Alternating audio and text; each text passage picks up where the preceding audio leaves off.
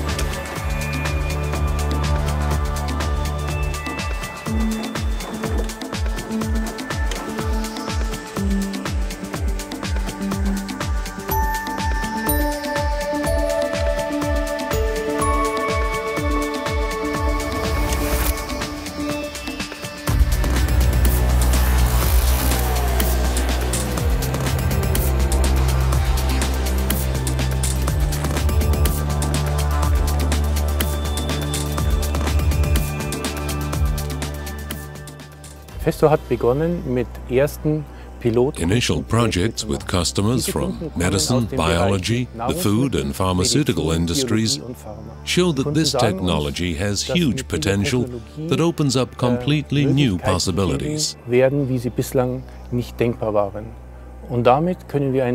A comparison can be drawn with laser technology, which made very many applications possible in the first place.